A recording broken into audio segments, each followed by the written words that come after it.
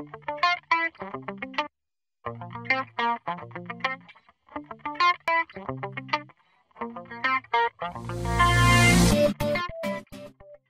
It's Wednesday, Gladiators. I'm Abby Lorbecki. And I'm Marissa Trujillo, and this is your KWHS News.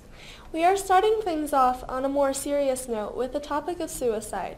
Suicide is a hard topic to discuss because it is such a personal subject. But we've had so many suicides in the past few months that something needs to be done. According to Adrian Stanley from the Colorado Independent, Colorado has one of the largest rates of teen suicide. Not a great characteristic for the Pikes Peak region. In fact, you may know someone who has tried or even succeeded in committing suicide. Knowing what to do, say, or how to help is a challenge. Because of this, Widefield School District 3 has partnered with AspenPointe to hold a suicide prevention clinic on September 21st at the Mesa Ridge Auditorium from 6 to 8 p.m. AspenPointe's licensed clinicians will present tips and coping strategies, discuss warning signs, and provide additional resources. Please join us in this very important presentation and bring your family, friends, and neighbors. As a community, we're trying to help stop teen suicides. If you need more information, please call this number.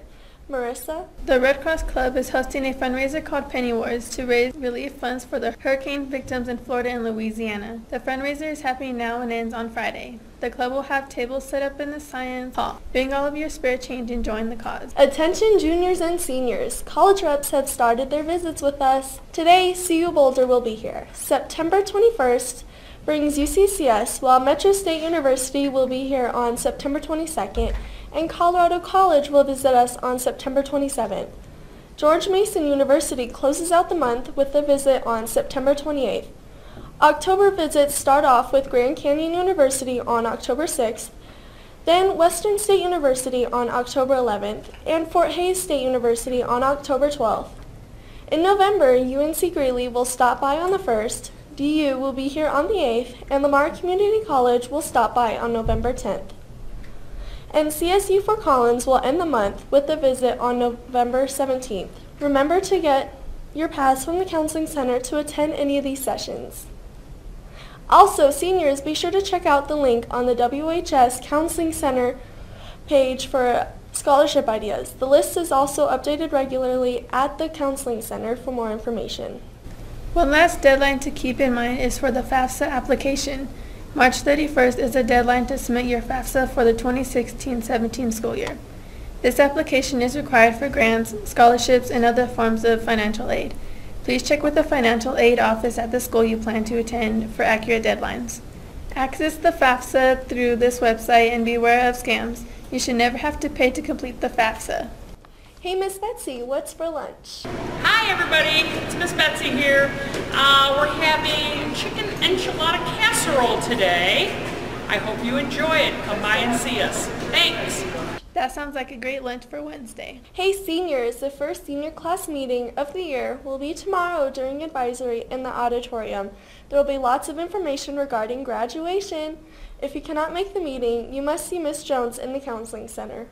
Speaking of graduation, Herff Jones will be in the lower commons during lunch next Thursday, September 22nd to help seniors place cap, gown, and graduation announcement orders. Place your orders before winter break before prices go up. Announcements with the WHS logo and more limited in January. Go to this website after September 22nd to place orders. If you have any questions, contact Herff Jones directly at this number.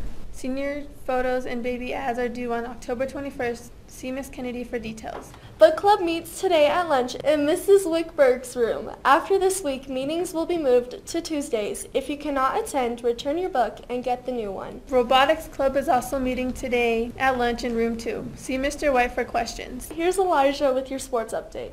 Good morning, Glads. I'm Elijah Clark, and this is your Gladiator Sports Update. The next fall baseball workout is today at 4 on Big Blue. Volleyball has a game tonight at home against Pueblo Centennial. Come support your Lady Glads in their quest for victory.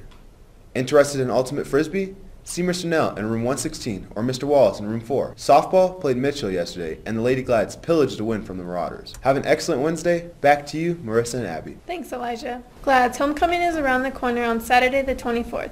The theme is Grecian Gardens. Remember your outside guest forms are due this Friday by 3 p.m. And tickets are now on pre-sale for $10 in the business office. Sounds like a fun night. Ladies, you only have two weeks to get your homecoming dress. See Mrs. Molina in room 111 or Mrs. HK in the library now until the 23rd to make a dress appointment for Becca's Closet. Remember that the dress is yours to keep.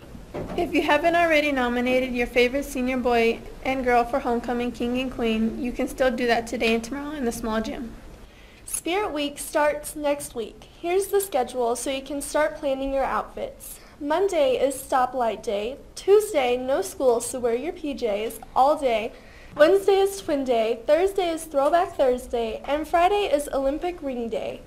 Widefield Gladiators presents stories like Rainbow Fish, The Sneetches, The Monster at the End of the Book, and more. Bring your younger brothers and sisters or just come to remember what it was like to be a little kid. Tomorrow in the auditorium starting at 7.